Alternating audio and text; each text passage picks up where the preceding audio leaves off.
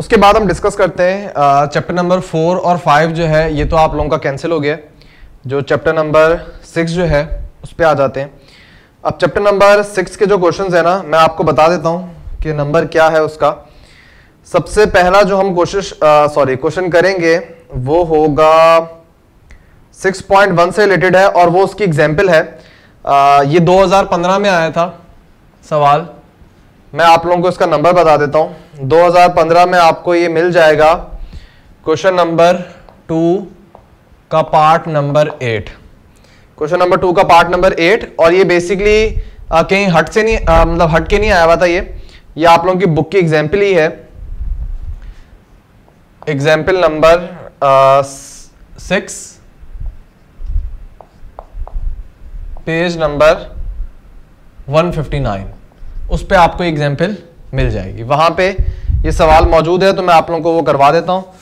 Page number one fifty nine हाँ तो सवाल ये आया हुआ था the P term of an A P is Q and the Q th term is P find the P plus Q term अब A P की बात की गई है तो बहुत इजी कॉन्सेप्ट है इसमें। सबसे पहले सवाल में डेटा क्या गिवन है? आ, इसको आप इस तरह समझ सकते हो कि यहाँ पर तो लेट किया हुआ ना ए फ़र्स्ट टर्म में। तो आपको लेट करने की ज़रूरत नहीं है। गिवन दैट पीएथ ट्रम जो है एपी की, वो क्यू के बराबर है और क्यूएथ ट्रम जो है, वो पी के बराबर है। ठीक है? ये आपको गिवन है। ठीक है? आपको मालूम क्या करना है?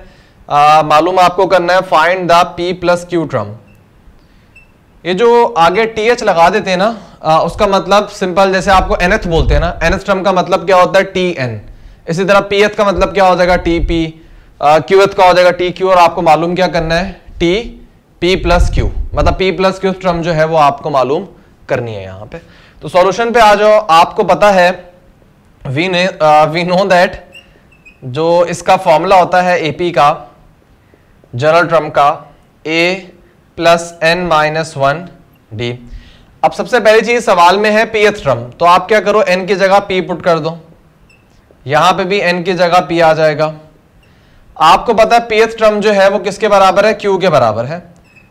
तो टी पी की जगह मैंने क्या लिख दिया? क्यू लिख दिया। और ये हो जाएगा A plus P minus one D. इसको आप बोल दो इक्वेशन नंबर वन। उसके बाद आ, दूसरी चीज़ लिखी हुई क्यू ट्रम तो आप इसमें टी क्यू पुट कर दो। मतलब एन की जगह पे आप क्यू पुट कर दो? यहाँ पे भी क्यू आ जाएगा? ठीक है?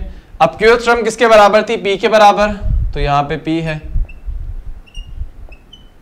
इसको आप बोल दो इक्वेशन नंबर टू अब P प्लस क्यू टर्म मालूम करने के लिए आपको A पता होना चाहिए फ़र्स्ट टर्म आपको D पता होना चाहिए कॉमन डिफरेंस अब वो कैसे पता होगा? आपको इक्वेशन वन और इक्वेशन टू को सॉल्व करना पड़ेगा। किस तरह सॉल्व को सब्ट्रैक्ट कर दो सिंपल यहाँ पे आप मेंशन कर दो। के equation one minus equation two तो सिंपल आप सब्ट्रैक्ट कर दो. इक्वेशन वन क्या है? ए प्लस पी डी मैं मल्टीप्लाई कर रहा हूँ डी को दोनों टर्म से. माइनस डी इक्वल टू किसके बराबर है? क्यू के बराबर है. इक्वेशन नंबर टू क्या है? A plus Q D minus D equal to P के बराबर है। सब में सबके साइन चेंज हो जाते हैं। ए कैंसिल हो जाएगा।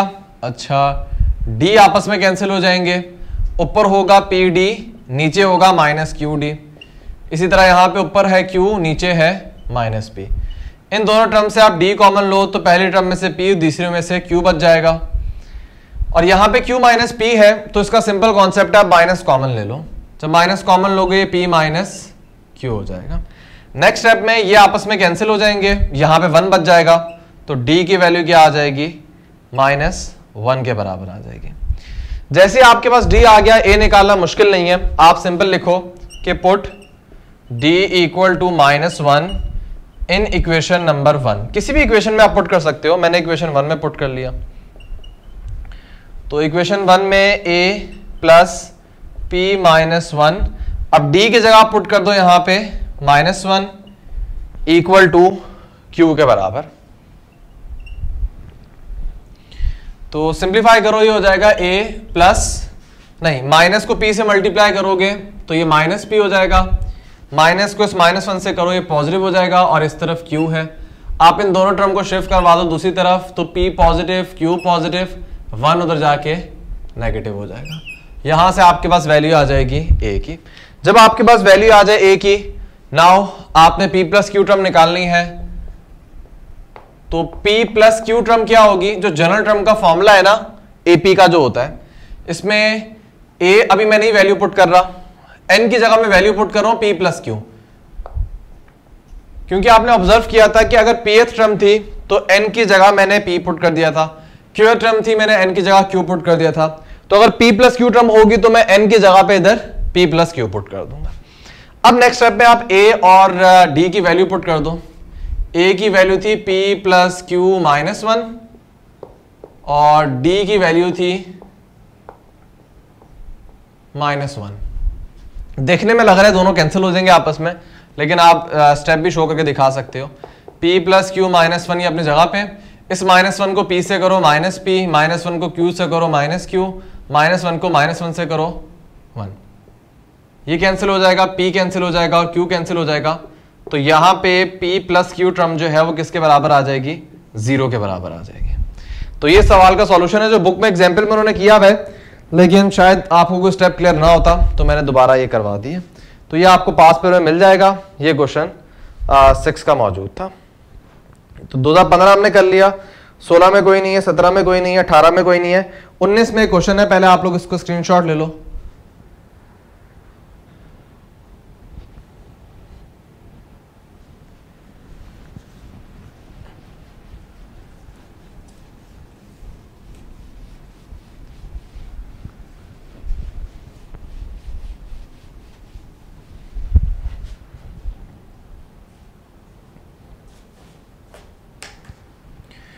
2019 में अगेन एग्ज़ाम्पल ही आई है आपके पास।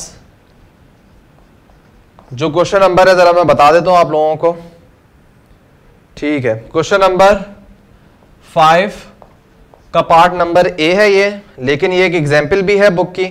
मैं आपको एग्ज़ाम्पल का नंबर बता देता हूँ। Example number nine page number 167 6.2 से पहले आपको एग्ज़ाम्पल मिल जाएगी। एग्ज़ाम्पल का नंबर भी बता दिया, ये भी बता दिया कि किस ईयर में आई थी। अब जरा देख लेते हैं इसको सॉल्व कैसे करना है। बुक से हम क्वेश्चन पढ़ लेते हैं। हाँ। तो बुक में आपको मिल जाएगा the sum of first N terms of an two AP ratio given है, ठीक है show that their nine term are equal हमें प्रूफ करना है कि नाइन ट्रम इनकी इक्वल है। तो जरा मैं हल्का सा डाटा बना देता हूँ कि आपको गिवन क्या है यहाँ पे। गिवन दैट कि रेशो आपको गिवन है। किसका?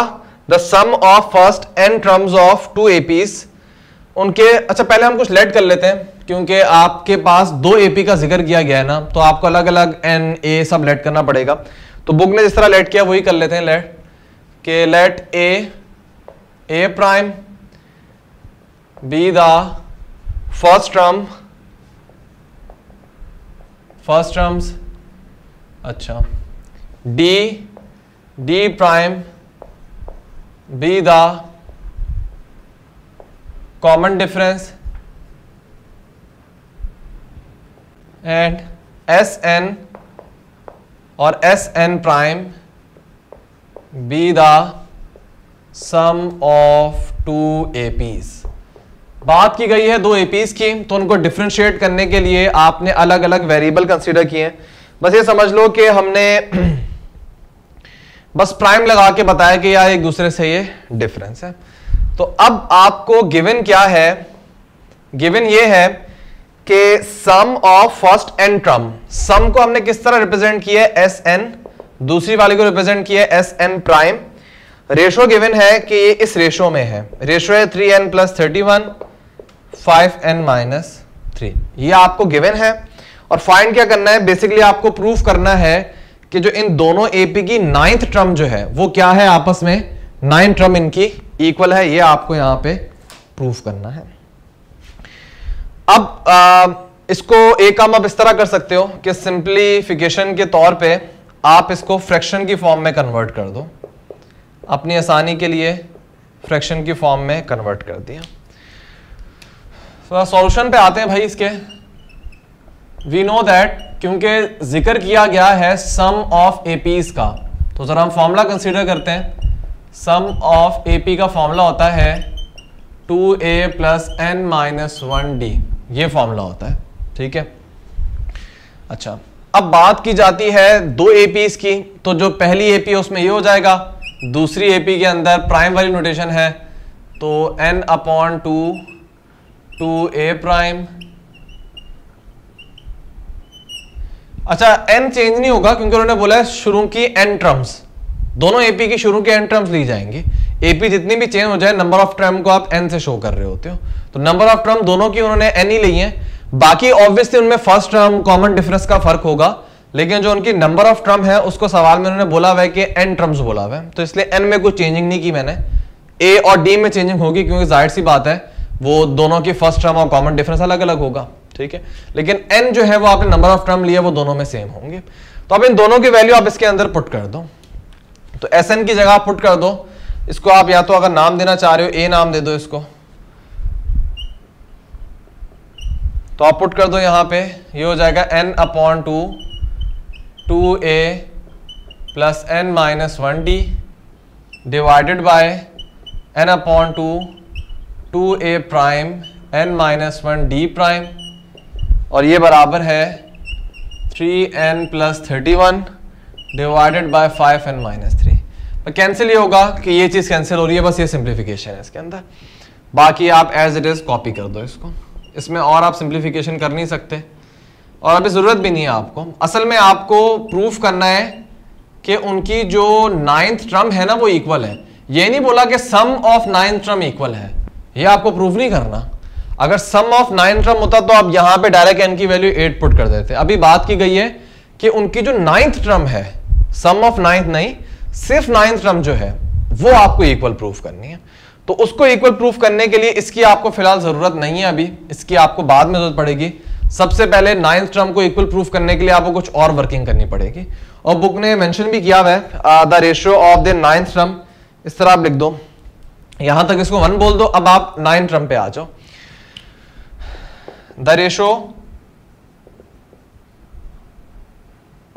of ninth term ratio of nine term को आप लिख दो टी नाइन और दूसरे में आप लिख दो टी नाइन प्राइम यहाँ पे भी आप लेट कर सकते हो, लेकिन ऐसे लेट करने की ज़रूरत नहीं है, वरना फंस जाओगे, बार बार लेट करोगे।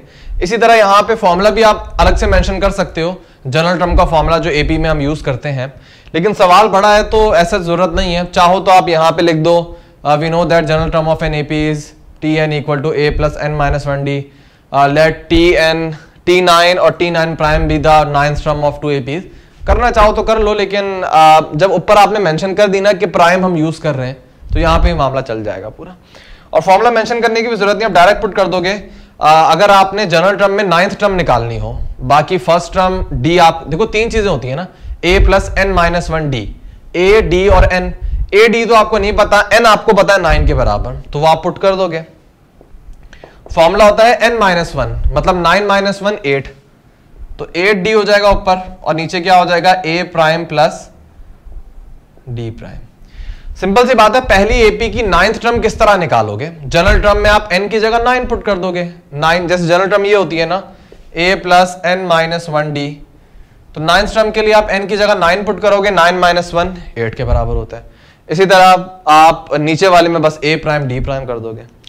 इसका ज़रा स्क्रीनशॉट ले लो।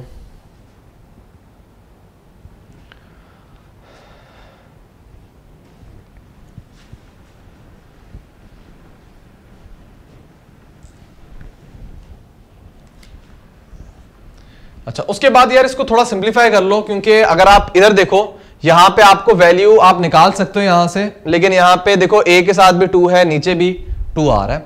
तो आप किसी तरह करो कि इनको सिमिलर करने के लिए, क्योंकि ये चीज़ आपको काम देगी। इसका मकसद ही ये था कि आपको ये फ़ायदा देगी। असल चीज़ तो आपको ये निकालनी थी ना। ये भी नहीं निकालनी थी, आपको प्रूफ करना है। लेकिन सब चीज़ों से आप फ़ायदा हासिल करोगे, इससे भी आपने फ़ायदा हासिल करना है। तो आप किसी तरह इन दोनों को टू से मल्टीप्लाई कर दो। और आप बिल्कुल कर सकते हो क्योंकि आप मल्टीप्लाई डिवाइड कर रहे हो। ऊपर भी टू से मल्टीप्लाई कर दो। तो दोनों ऊपर टू से मल्टीप्लाई हो जाएँगे और नीचे भी आप टू से मल्टीप्लाई कर दो। तो आपने न्यूमिनेटर डिनोमिनेटर दोनों पे कोई चीज़ मल्टीप्लाई की है तो कोई फ़र्क नहीं पड़ा, बात एक ही है। जब आप कॉमन लोगे, दोबारा ये हट जाएगा। अब इसको मैं थ्री बोल रहा हूँ। टू बोल रहा हूँ फ़िलहाल के लिए। अभी हम वहाँ पे कुछ कर लेते हैं। देखो, अगर आपको ये पूरी चीज़ फाइंड करनी है ठीक है? क्योंकि देखो आपको आ, अभी आपको बाद में समझ आएगी कि रेशो से आप कैसे पता कर रहे हो। लेकिन अगर आपको ये चीज़ मालूम करनी है तो आप ये चीज़ यहाँ पे मालूम कर सकते हो। कैसे? अगर आप n की वैल्यू यहाँ पे 17 पुट करोगे तो ये क्या हो जाएगा? 16d हो जाएगा। तो 2a plus sixteen d two a prime plus sixteen d जो आपको चाहिए। और इस पूरी वैल्यू जब आप यहाँ पे भी 17 पुट करोगे तो इस पूरी चीज़ की वैल्यू आपको यहाँ पे मिल जाएगी। तो इससे सेम करने के लिए आप क्या कर रहे हो? यहाँ पे n 17 पुट कर रहे हो। तो put n equal to seventeen in one जरा देखते जो क्या होता है। आप 17 पुट करो 2a plus seventeen minus one sixteen d इसी तरह नीचे भी two a prime sixteen d prime और राइट हैंड साइड पे भी आप 17 पुट कर दो, यहाँ पे भी 17 आ जाएगा, यहाँ पे भी 31 है तो खैर, इधर 17 minus three three into seventeen क्या हो जाएगा 51 51 प्लस 31 ये हो जाएगा 82 five into seventeen fifty one के अंदर थर्टी फोर एड करो. फिफ्टी वन ये हो जाएगा eighty five eighty five minus three eighty two तो यहाँ पे आप ऑब्ज़र्व कर रहे हो कि जब आपने वन के अंदर एन की वैल्यू सेवनटीन पुट की तो इस पूरी चीज़ का आंसर क्या आ रहा है? इस पूरी चीज़ का आंसर आ रहा है वन के बराबर. तो जैसे ये चीज़ वन आ गई तो यहाँ पे ये पूरी चीज़ यहाँ पे थी ना। बेसिकली आपको इसकी वैल्यू मालूम करनी थी। इसकी वैल्यू क्या आ गई? वन के बराबर आ गई। तो अब आप कंसीडर करो इक्वेशन टू को। इक्वेशन टू की लेफ़्ट हैंड साइड थी ये चीज़। इक्वेशन टू इसके बराबर थी। इसकी वैल्यू आपने मालूम कर ली। इसकी हेल्प से इसकी वैल्यू वन आई है। आप यहाँ पे पुट कर दो। जैसे आप पुट कर लो नेक्स्ट स्टेप आप एक और करना, वो ये कि टी नाइन प्राइम को आप वन से मल्टीप्लाई करवा देना। तो जब वन से मल्टीप्लाई करवाओगे तो कुछ नहीं होगा, ऐसे हो जाएगा। और यहाँ से आपका प्रूव हो जाएगा सवाल कि जो नाइन्थ टर्म है दोनों एपी की, वो आपस में क्या है? इक्वल है। तो इतनी लंबी चौड़ी कहानी करने के बाद आपके पास ये प्रूव हो जाएगा, क्योंकि जब इक्वल होते हैं तो रेशो वन के बराबर होगा ना। लेकिन आप यहाँ जाके मल्टीप्लाई करके भी आप देख सकते हो कि दोनों एपी की जो नाइन्थ टर्म है, वो आपस में क्या है? इक्वल है। तो सबसे पहले आपने इसको सिंप्लीफाई किया, उसके बाद आपने नाइन्थ टर्म का रेशो फाइंड किया। रेशो जब आपने फाइंड किया तो आपको बेसिकली इस चीज़ की वैल्यू मालूम करनी थी। इसकी वैल्यू आपने कैसे मालूम की? आपने यहाँ पे एन सेवनटीन पुट किया सॉल्व किया तो यहाँ पे इस चीज़ की आपको वैल्यू मिल गई वन उस वैल्यू को आपने यहाँ पे पुट कर दिया, ये चीज़ आई, फिर आप बदल ले गए, यहाँ से आपने प्रूफ कर लिया कि नाइन्थ टर्म का रेशो जो है सॉरी जो नाइन्थ टर्म है वो आपस में क्या है? बराबर है. तो इस तरीके से बुक की एग्ज़ाम्पल है. इसके अलावा आपको पास टेन इलेवन ईयर्स में कोई भी ऐसा सवाल नहीं मिलेगा, बल्कि ये सारे सवाल जो बुक से हट के आए नहीं है ना. एग्ज़ाम्पल है या बुक के क्वेश्चन है. तो इससे हट के कोई भी ऐसा सवाल नहीं है जो हम उसको करेंगे। इसको ज़रा पहले नोट कर लो। अब ऐसे कुछ एक दो और एग्जाम्पल्स हैं, जिनके चांसेस हैं मैं आप लोगों को साथ साथ वो भी करवा देता हूँ।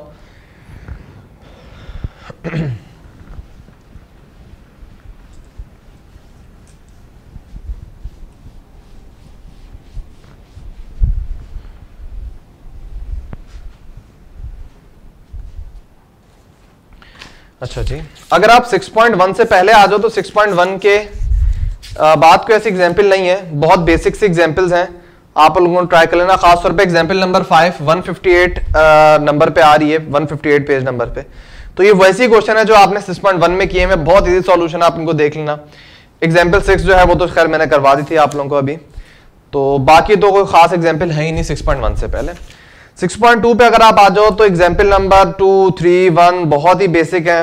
फोर जो है वो तो खैर करने की भी ज़रूरत नहीं है। फाइव भी बहुत छोटी सी है। सिक्स भी अगर आप देखो तो वो एक अच्छी एग्ज़ाम्पल है। आ, उसको ट्राई करना चाहो तो कर लो। लेकिन वही कॉन्सेप्ट है जो आपने 6.2 में किया हुआ है। आपको बेसिकली लिखा हुआ है if the sum of p term of an AP is q वही सम के पूरे फॉर्मुले में आप एन की जगह पी पुट करना सिंप्लीफाई करना बाकायदा सॉल्व किया हुआ बुक ने। मैं आप लोगों को अगेन वही बात मशवरा दिया था कि जो इंपॉर्टेंट क्वेश्चन का पीडीएफ था ना, उसमें मैंने एग्जाम्पल्स लिखी हुई थी। तो उन एग्जाम्पल्स को आप ट्राई कर लो, काफ़ी हैं। बाकी एग्ज़ाम्पल जो है, वो बुक से रिलेटेड है बुक में जो क्वेश्चन किए हुए हैं तो बार बार करने की क्या ज़रूरत है? आप आसानी से वो कर सकते हो। तो ये चीज़ मैंने आप लोगों से वहाँ पर डिस्कस की थी। एक सेकेंड हाँ तो इसलिए आप लोगों को अलग से करने की ज़रूरत नहीं है। जो एग्ज़ाम्पल नंबर सेवन है बिल्कुल इसी टाइप का क्वेश्चन आपने एक्सरसाइज में भी किया था, मैं बता देता हूँ कौन सा क्वेश्चन था वो। क्वेश्चन नंबर टेन था तो उसको जरा देख लेना। बुक में भी सॉल्यूशन बड़ा अच्छा उन्होंने किया हुआ, मसला नहीं होगा। एग्ज़ाम्पल नंबर एट को आप लोग ट्राई कर लेना। आपको मसला हो तो पूछ लेना। वरना बहुत बेसिक से सॉल्यूशन है, बाकायदा बुक ने सॉल्व किया हुआ, अच्छे तरीके से, कोई स्किप नहीं की हुई चीज़। एग्ज़ाम्पल नंबर नाइन जो है वो मैंने आप लोगों को अभी करवा दी है, ठीक है? तो इसकी एग्ज़ाम्पल जो है, जो मैंने पीडीएफ में दी होंगे, उनको ट्राई कर लेना। अगर स्टिल कोई ना हो तो पूछ लेना। लेकिन ज़्यादातर वही है जो आपने बुक में किए हुए क्वेश्चन तो आई होप आप लोगों को मसला नहीं होगा। 6.3 पे अगर आप आ जाओ तो 6.3 में तो खैर बहुत ही इजी एग्जांपल्स हैं। एग्जांपल 3 ट्राई कर लेना ज़्यादा से ज़्यादा।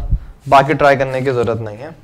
खैर 6.3 तो कैंसिल हो गया सॉरी 6.3 को छोड़ दो 6.3 कैंसिल हो गया। अच्छा। 6.4 पे आ जाओ 6.4 की एग्जांपल्स कुछ बेसिक्स ही हैं। एग्जांपल 5 आप लोगों को मसला कर सकती है तो वो मैं आप लोगों को बता देता हूँ किस तरह करनी है। एग्ज़ाम्पल 5 में इशू हो सकता है, क्योंकि बुक ने बाकायदा कॉन्सेप्ट पूरा बताया है ये कॉन्सेप्ट आपको पेपर में लिखने की ज़रूरत नहीं है। जो असल सॉल्यूशन है वो उन्होंने एंड पे किया हुआ था। मैं आपको बता देता हूँ किस तरह करना है। ये बिल्कुल एग्जैक्ट सवाल आपने अपनी बुक में भी किए हुए बिल्कुल उसी टाइप के क्वेश्चन है ये। 6.4 के अंदर सब किए हुए आपने। एंड के अगर आप वर्ड प्रॉब्लम देखो। सिंपल सी बात है, एक बंदा है, मैं जरा समझा देता हूँ आपको वर्डिंग शुरू की थोड़ी कंफ्यूज कर सकती है आपको। एक बंदा है जिसने एक लाख इन्वेस्ट किए हैं। अब उस पर लग रहा है कंपाउंड प्रॉफिट जब कंपाउंड प्रॉफिट लगता है तो आपके पास जीपी बन रही होती है। जितने सवाल आपने किए एक्सरसाइज में सब कंपाउंड प्रॉफिट कहते हैं। और मैंने डिटेल से बताया था सिंपल प्रॉफिट कंपाउंड प्रॉफिट इनमें क्या फ़र्क होता है तो वो भी आप लोग जाके देख लेना वहाँ पे। तो कंपाउंड प्रॉफिट लग रहा है भाई उसने एक लाख की इन्वेस्टमेंट की थी। उसके बाद उन्होंने बोला है कि कंपाउंड प्रॉफिट कितना लग रहा है? फाइव परसेंट एनुअली लग रहा है। मतलब हर साल इतना फाइव परसेंट प्रॉफिट होगा उसको। आ, लिखा हुआ है छह कंजेकेटिव ईयर तक उसने आ, वो जमा रखी है।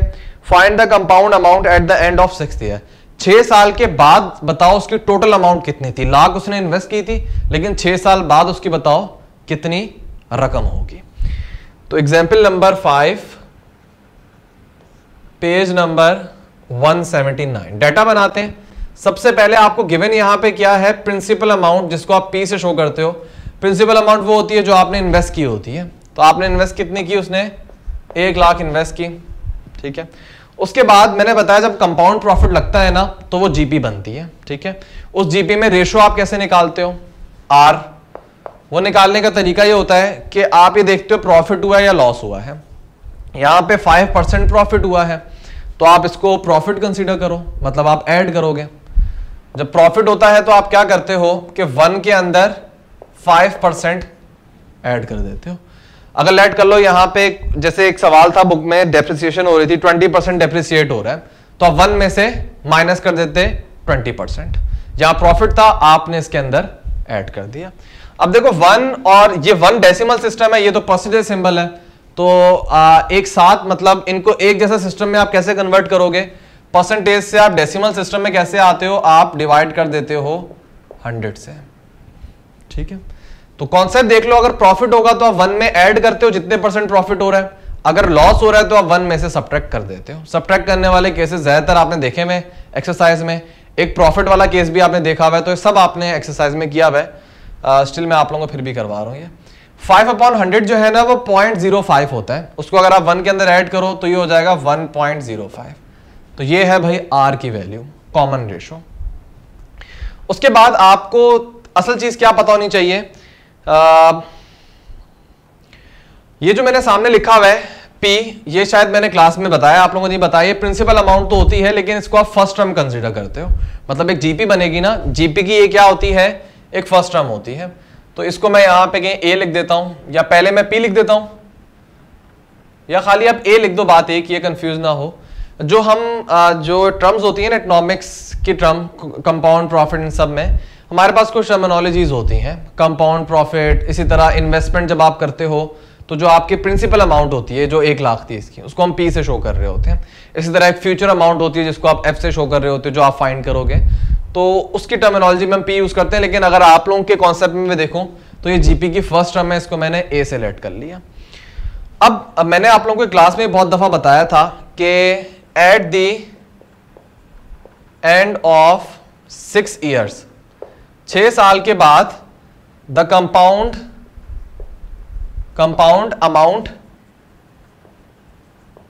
will be the seventh term of a GP ये रीजन इसकी आपको क्लास में पता चलेगी मैंने डिटेल में आप लोगों को समझाया हुआ है कि छह साल बाद जो आपके पास अमाउंट होगी, वो बेसिकली सेवेंथ टर्म होगी जीपी की।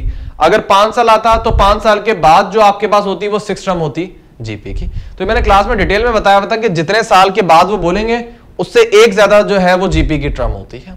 कॉन्सेप्ट अगर आपको देखना है तो आप वहाँ वीडियो देख लो, आपको समझ आ जाएगा। 6.4 में जो वर्ड प्रॉब्लम थे एंड पे, वहाँ पर बात क्लियर की थी। तो इन शॉर्ट हमें पता चला कि जीपी की कौन सी नंबर ऑफ़ टर्म आपको निकालनी है? सेवेंथ निकालनी है। तो यहाँ से आपको पता चल गया कि एन की वैल्यू सेवन होगी। अगर एग्ज़ाम में सवाल आया वैल्यू चेंज कर दी, बोला at the end of four years जब फोर ईयर्स होंगे तो आप एन की वैल्यू फाइव ले लोगे। So on and so forth ये आप देख लेना।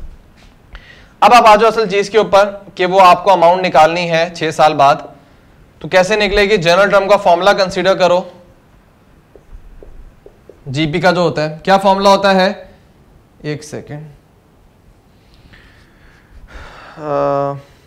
ठीक है। इसमें मुझे इंपॉर्टेंट कॉल आनी है, इसलिए मैं इसको ज़रा साइलेंट से हटा देता हूँ। अच्छा ये है जनरल टर्म किसी भी जीपी की, अब आप यहाँ पे वैल्यूज़ पुट कर दो।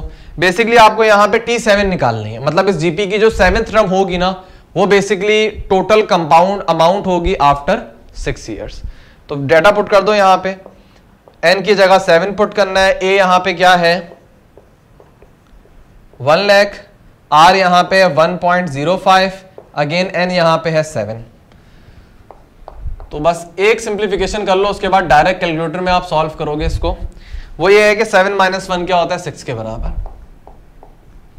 तो इस पूरी चीज़ को आप डायरेक्ट कैलकुलेटर में सॉल्व करना। बुक वालों ने तो सॉल्व किया हुआ है इसको, और इसका आंसर क्या निकाला हुआ है कि सेवेंथ टर्म जो है, वो है one three four comma zero zero nine point five six तो ये है भाई छह साल के बाद उसकी अमाउंट तो उसने इन्वेस्ट किए थे एक लाख और उसको छह साल बाद कितना प्रॉफिट हुआ? तकरीबन चौंतीस हज़ार उसमें प्रॉफिट हुआ है। और अब उसकी कंपाउंड अमाउंट क्या है? एक लाख चौंतीस हज़ार।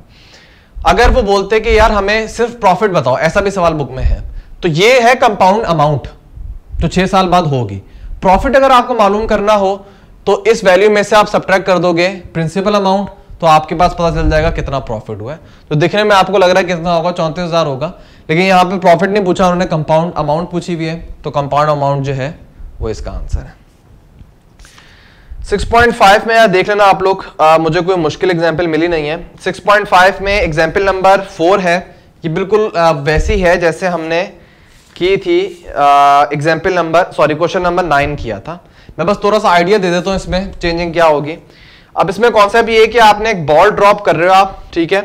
मैं एक बॉल ड्रॉप किए ये। ये मैं बात कर रहा हूँ एग्ज़ाम्पल नंबर फोर की ऑन पेज नंबर 184 समझ लो कॉन्सेप्ट बाकी ये बिल्कुल बुक के क्वेश्चन जैसा है कि आपके पास एक बॉल थी, वो आप ड्रॉप कर रहे हो।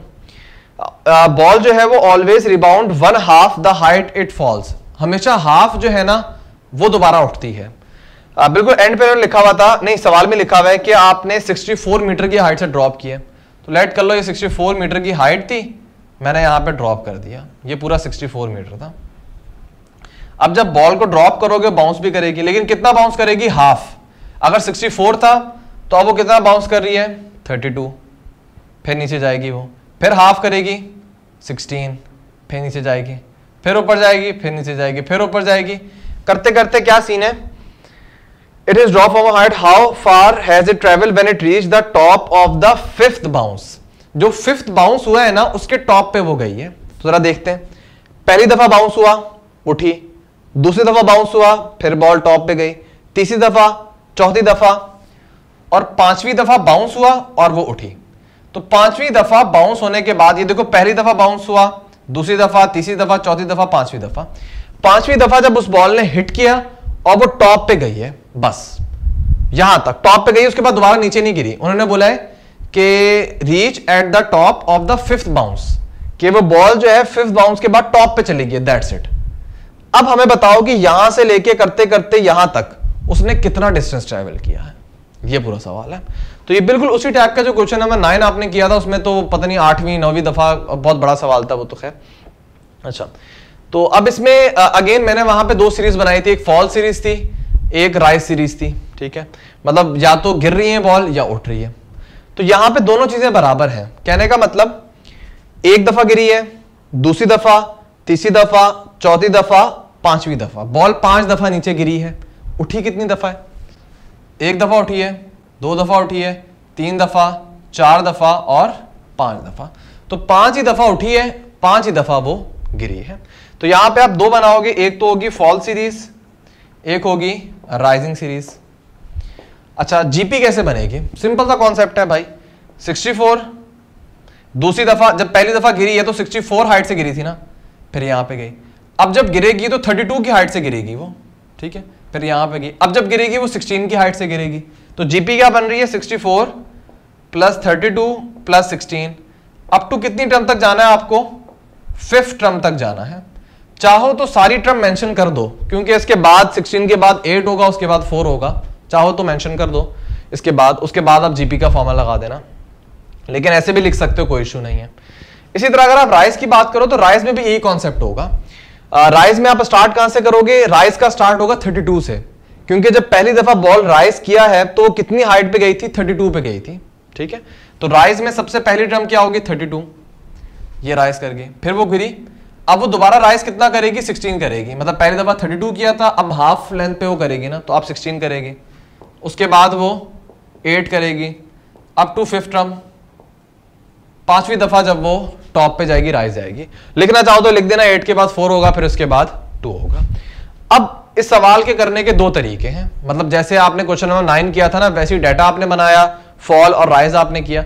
अब दो तरीके, या तो आप सब पाँच टर्म को मेंशन करो और प्रॉपर उनको जैसे आप ऐड करते हो ना, वैसे आप ऐड कर दो, ठीक है? इसमें कोई शर्त नहीं है कि आपने जीपी का फॉर्मुला ही यूज़ करना है, क्योंकि पाँच टर्म आप आसानी से उनको ऐड कर सकते हो। लेकिन इसका अच्छा तरीका ये होगा कि आप जीपी का फॉर्मुला लगा दो, ठीक है? ताकि आपके सॉल्यूशन में कोई कमी ना रह जाए। क्योंकि सेंस तो नहीं बनती ना, असल चीज़ें ऐड करना है आपने, ठीक है? लेकिन मैं मशवरा ये दूँगा कि आप किसी तरह जीपी का फॉर्मूला लगा दो इतनी बड़ी बात नहीं है। अच्छा आपका सॉल्यूशन माना जाएगा। तो अब जीपी का फॉर्मूला लगाना कोई बड़ी बात नहीं है। इसमें फ़र्स्ट टर्म 64 है नंबर ऑफ़ टर्म 5 है, और अगर आप रेशो देखो तो 1.2 है इसके अंदर। इसमें फ़र्क ये कि इसमें एन फाइव है, इसमें भी रेशो 1.2 है, बस फ़र्क ये कि इसकी फ़र्स्ट टर्म क्या है 32 के बराबर है। तो जो मैंने जीपी के सम का फॉर्मूला आप लोगों को बताया है ना, वो जो a one minus r n divided by one minus r क्योंकि आर जो है वो लेस देन वन है। तो ये सम वाला फॉर्मूला यूज़ करना, दोनों के अलग अलग आप सम निकाल लेना। एंड में वही आप करना इसका जो टोटल डिस्टेंस आया है इसका जो आया है उनको आपस में ऐड कर देना तो आपको पता चल जाएगा बॉल यहाँ से लेके यहाँ तक टोटल बॉल ने कितना डिस्टेंस ट्रेवल किया है। तो मजीद अगर आप इसका कॉन्सेप्ट देखना तो क्वेश्चन नंबर नाइन जो है एक्सरसाइज का उसको आप देख लो आपको मजीद ये बात क्लियर हो जाएगी। ठीक है? अच्छा उसके बाद एग्ज़ाम्पल नंबर फाइव भी आ सकती है। आ, लेकिन कॉन्सेप्ट वही है मैंने आपको बताया था और बुक में सॉल्यूशन भी किया हुआ है। ये बिल्कुल वही क्वेश्चन है जो मैंने आपको 6.5 में क्वेश्चन नंबर वन का पार्ट नंबर नाइन करवाया था, बिल्कुल उसी तरह करोगे। इसी तरह क्वेश्चन नंबर फाइव का पार्ट नंबर टू जो है, बिल्कुल उसी तरह करोगे। इसमें कॉन्सेप्ट बुक ने बिल्कुल अच्छे तरीके से डिफाइन किया हुआ जो मैंने आप लोगों को क्लास में बताया था, कि सबसे पहले आप यहाँ पे टू कॉमन लोगे। टू कॉमन लेने के बाद नाइन से मल्टीप्लाई डिवाइड करोगे, फिर वो आप अंदर नाइन को सबको ब्रेक कर रहे हो ten minus one hundred minus one बिल्कुल, मैंने एग्जैक्ट ये जो मैंने आप लोगों को रेफरेंस दिए ना एक्सरसाइज के डिटेल में मैंने समझा के आप लोगों के सॉल्व करवाए हुए थे। तो अगर आपको एग्ज़ाम्पल नंबर फाइव समझनी है तो आप सिक्स पॉइंट फाइव में क्वेश्चन नंबर वन का पार्ट नाइन समझ लो, आपको ज़रूरत नहीं पड़ेगी। आपको ये एग्ज़ाम्पल आसानी से समझ आ जाएगी। क्योंकि सेवन आ जाए सिक्स आ जाए फाइव आ जाए टू आ जाए, कुछ भी आ जाए कॉन्सेप्ट सेम ही रहेगा। ठीक है? तो ये रेफरेंस मैंने आपको दे दिया 6.5 कवर हो जाएगी। 6.6 6.7 जो है, ये तो ऑब्वियसली कैंसिल हो गई है। और 6.8 जो है, उसकी जो एग्जाम्पल्स हैं, वो काइंड kind ऑफ़ of बहुत ही बेसिक सी हैं। उसके जो क्वेश्चन हैं, अगर आप वो कर लो, काफ़ी हैं, आपके लिए कोई एग्ज़ाम्पल करने की ज़रूरत नहीं है, क्योंकि एग्ज़ाम्पल बहुत ईजी है, कोई नया कॉन्सेप्ट नहीं है एक्सरसाइज में हर चीज़ मौजूद है। और 6.8 के जितने भी सवाल हैं, मैंने आज तक नहीं देखा कोई एग्ज़ाम्पल से आए हो। एक्सरसाइज के क्वेश्चन वाकई इसके इतने अच्छे हैं कि वो एग्ज़ाम्पल से देते नहीं है। और अगर आप भी गया तो कोई मसला नहीं, जब आपने एक्सरसाइज कर ली, बिल्कुल उसी के पैटर्न पर उन्होंने एग्जाम्पल्स दी हुई हैं। तो 6.8 से पहले जितनी एग्जाम्पल्स हैं, उनको छोड़ दो, करने की ज़रूरत नहीं है। जो मैंने आप लोगों को यहाँ पे समझाई है, जो मैंने पीडीएफ में दिया हुआ है, उन एग्जाम्पल्स को करो। दैट सेट बाकी करने की ज़रूरत नहीं है। तो सिक्स चैप्टर है ना, वो हमारा खत्म हो गया। मैंने पास पेपर्स आप लोगों को करवा दिए। जो पास पेपर में एग्जाम्पल्स थी, वो करवा दी हैं। जो एग्ज़ाम्पल मुझे लगता था आ सकती हैं, ये वाली जिस टाइप की थी, ये थी, ये मैंने आप लोगों को समझा दी है। तो चैप्टर नंबर सिक्स जो है, वो हमारा कंप्लीट हो गया। तो वन से लेके सिक्स तक हमने कंप्लीट कर लिया। इंशाल्लाह नेक्स्ट वीडियो में चैप्टर नंबर सेवन से ऑनवर्ड हम डिस्कस करेंगे।